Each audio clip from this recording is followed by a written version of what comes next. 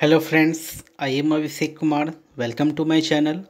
आज की क्लास में हम लोग डिस्कस करेंगे एम एस एक्सेल के बारे में। एम एस एक्सेल में काउंट क्या होता है? ठीक है? काउंट मैथ्स और मीन फ़ंक्शन के बारे में हम लोग समझेंगे बाई प्रैक्टिकल तो सबसे पहले हम लोग काउंट के बारे में हम लोग समझते हैं कि काउंट क्या होता है। तो काउंट में यहाँ पे हमने वैल्यू यहाँ पे इनपुट करा दिया है। फ़र्स्ट वैल्यू है फोर वन ज़ीरो ठीक है। सेकेंड वैल्यू हम यहाँ पे फिफ्टी टू दे रहे हैं third twenty five four thirty six अब यहाँ पे क्या करेंगे? यहाँ पे फार्मूला डालेंगे, किसका? काउंट का। तो यहाँ पे फार्मूला को लिखने के लिए इक्वल टू हम लोग सबसे पहले देते हैं तो यहाँ पे क्या करेंगे हम लोग? इक्वल टू यहाँ पे देंगे यहाँ पे। ठीक है इक्वल टू दे दिया। अब उसके बाद क्या करना है यहाँ पे? काउंट लिखना है। क्या लिखना है? Count C O U N T count होता है। उसके बाद आपको फिर पैरेंथेसिस देना है। ठीक है, यानी कि ओपनिंग ब्रैकेट तो इसको सेलेक्ट कर देना, यानी कि कहाँ से कहाँ तक है? ए वन से लेके ए फोर तक ये आप आप, आपका इसको लिखना है आपको। उसके बाद ब्रैकेट को क्लोज कर देना है। तो ब्रैकेट आपका क्या क्या हो जाएगा यहाँ पे? क्लोज हो जाएगा। ठीक है? अब उसके बाद आपको प्रेस कर देना है क्या? इंटर तो जैसे ही आप इंटर प्रेस करोगे, ठीक है?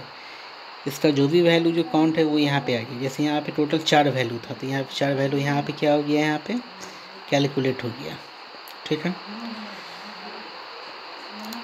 अब यहाँ पे कोई वैल्यू यहाँ पे यहाँ पे क्या हो गया? मैंने रिमूव कर दिया। तो रिमूव किया तो यहाँ पे थ्री केवल तीन ही वैल्यू यहाँ पे रहा। तो इस तरीक़े से काउंट हमारा फ़ंक्शन कंप्लीट हो गया। अब हम लोग समझते हैं कि इसका मैथ्स फ़ंक्शन क्या होता है। ठीक है? तो मैथ्स फ़ंक्शन के बारे में हम यहाँ पे लिखेंगे। तो मैथ्स तो मैथ्स जो होता है वो क्या होता है? हाईएस्ट वैल्यू को क्या करता है ये? वो प्रिंट कराता है। ठीक है? तो यहाँ पे सबसे हाईएस्ट वैल्यू हमारा क्या है? फोर वन ज़ीरो है तो यहाँ पे इसका भी फार्मूला यहाँ पे हम क्या करेंगे? यहाँ पे इंटर करेंगे। तो लिखेंगे क्या? सबसे पहले इक्वल टू ठीक है? इक्वल टू हम लोग लिखेंगे इक्वल टू मैथ्स ठीक है? मैथ्स यहाँ पे हमने लिख दिया है यहाँ पे, ठीक है?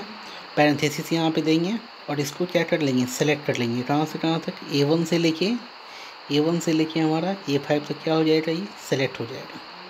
ठीक है ब्रैकेट क्या कर लेंगे उसको? क्लोज कर लेंगे। ठीक है, ब्रैकेट हमारा क्या हो गया? क्लोज हो गया। अब जब ब्रैकेट जब क्लोज हो जाएगा तो फिर क्या होगा? इसका इन, इसको प्रेस कर देना है क्या? इंटर प्रेस कर देना है। तो जो आप इंटर प्रेस करोगे तो यहाँ पे टोटल जो हाईएस्ट वैल्यू जो था, वो यहाँ पे प्रिंट हो जाएगा। जैसे फोर वन ज़ीरो इसका हाईएस्ट वैल्यू क्या हो जाएगा? प्रिंट हो जाएगा। ठीक है?